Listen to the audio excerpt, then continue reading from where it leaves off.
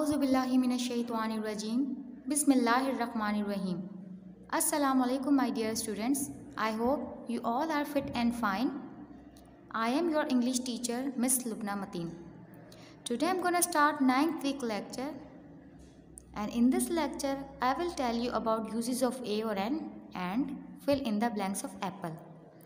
So let's move on our today's topic. So our first topic of this lecture is uses of a or n.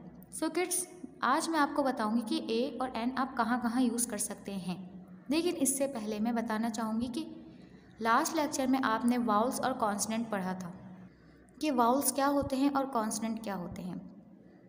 So so, एक जैसे sound वाले alphabets जिनका sound अलिफ से निकले वो vowels कहलाते हैं। जैसे A E I O you ये वाउल्स हैं। इसके अलावा जो लेटर्स हैं वो कॉन्सनेंट कहलाते हैं। तो चलिए अब हम पढ़ते हैं।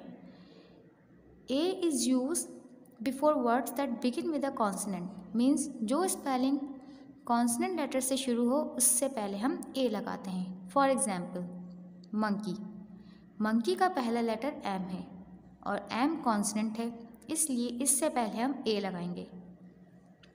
आ मंकी इसी तरह बियर डोंकी एंड स्नैक की स्पेलिंग का पहला लेटर कॉन्सनेंट है।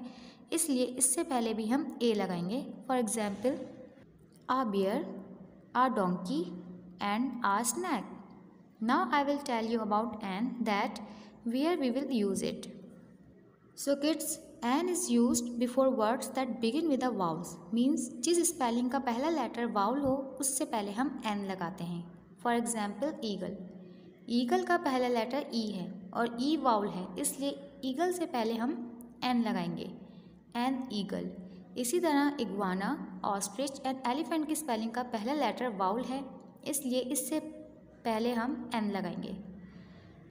For example an iguana, an ostrich, an elephant. Now our next topic of this lecture is fill in the blanks of my apple. तो चलिए अब हम इसे पढ़ते हैं।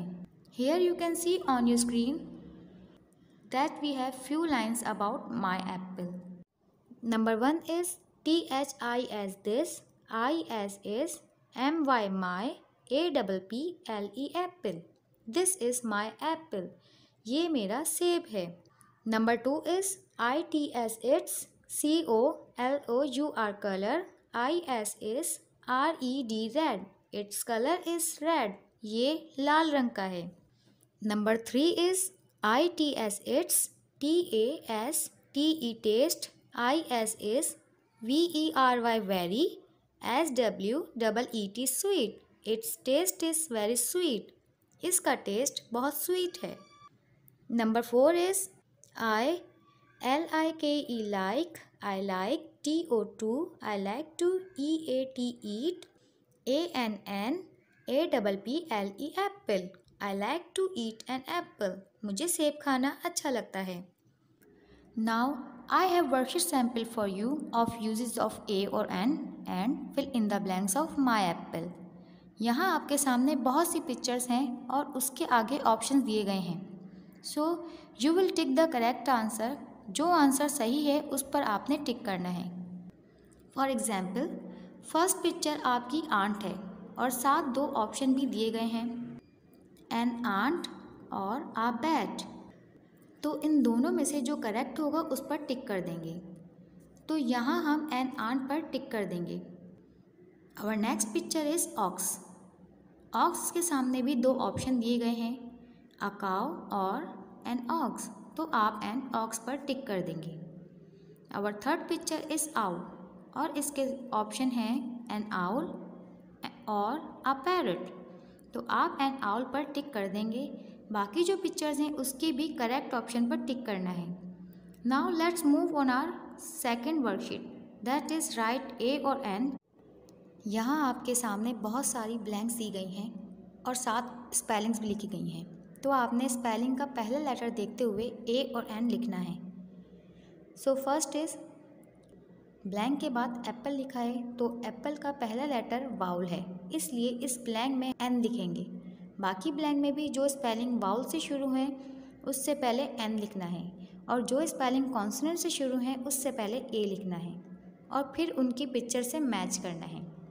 Now let's move on our another worksheet and that is fill in the blanks this is my और आगे blank है। तो इस ब्लैंक में आपको एप्पल लिखना है। Number two is its colour is blank इस ब्लैंक में आपने रेड लिखना है। Now third is its taste is very और आगे ब्लैंक दी गई है तो इस ब्लैंक में आप स्वीट लिखेंगे। Number fourth is I blank to eat an apple तो इस ब्लैंक में आपने लाइक like लिखना है।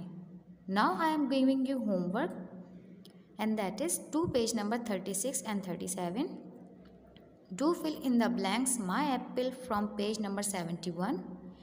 Do practice of uses of A or N in any notebook and do the given activities. And at the end of this lecture, I have a video link for you to relate it with this lecture. So don't forget to watch that link and keep practicing at home. Thank you for your attention. We will meet again. Till then, take care. Allah Hafiz.